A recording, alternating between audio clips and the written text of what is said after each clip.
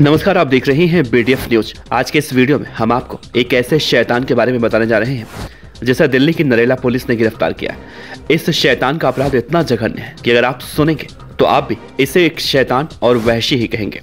दरअसल इस शैतान ने अपने साथियों के साथ मिलकर एक 14 साल की लड़की का गैंगरेप किया।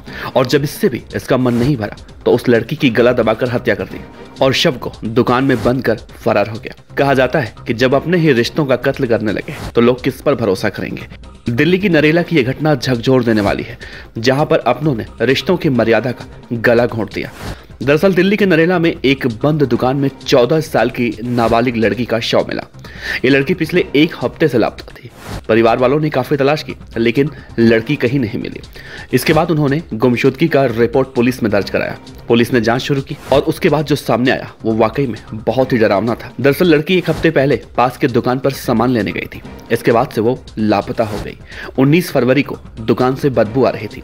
इसके बाद आसपास के लोगों ने पुलिस को इसकी जानकारी दी। जब पुलिस मौके पर पहुँची, दुकान का शटर तोड़ा गया तो हकीकत सामने आई। दुकान में लड़की का शव शत विशत हालत में पड़ा हुआ था। इसके बाद पुलिस ने मामले की गहराई से पड़ताल की तो वारदात को अंजाम देने वाला आरोपी पुलिस के हत्या चढ़ा, जबकि दूसरा आरोपी फरार चल रहा है। गिरफ़्तार आरोपी का नाम सचिन है और उसने बताया कि उस दिन उसने बच्ची को मिलने के लिए बुलाया था। इस दौरान दोनों ने मिलकर रेप किया। दूसरा आरोपी सुनील जिसका नाम है, वो फरार है।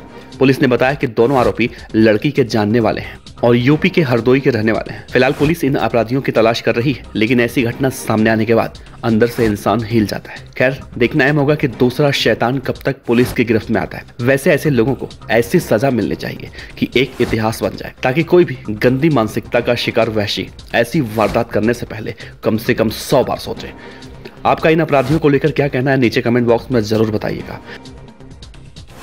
खबर अच्छी लगी हो तो लाइक कीजिए, सब्सक्राइब कीजिए। साथ ही बेल आइकन का बटन दबाइए। पीडीएफ न्यूज़ की खबरें सबसे पहले देखने के लिए।